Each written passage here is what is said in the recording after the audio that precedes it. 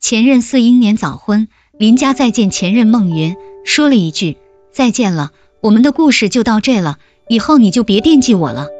好像很像两人的结局写进了主题曲，何必有没有？一起了解一下林家怎么了？为什么就放下了呢？林家结局不可以忘记他和孟云的过去，也不必和孟云再在一起，谈遗憾又何必？分开的六年，他们祝对方还有幸福的权利，守口如瓶，也算是默契。林家经历了等待、结婚、离婚，成了单亲妈妈。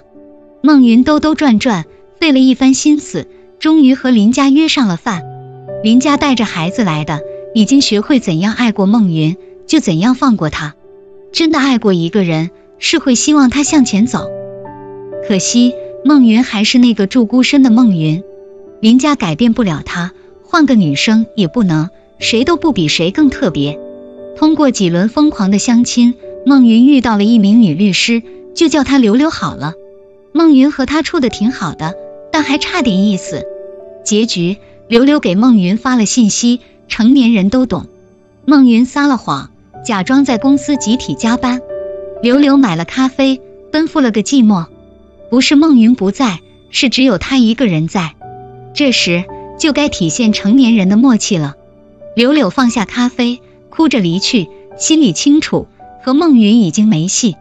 孟云想明白了，已经晚了。疯狂打电话给柳柳，没有得到回应。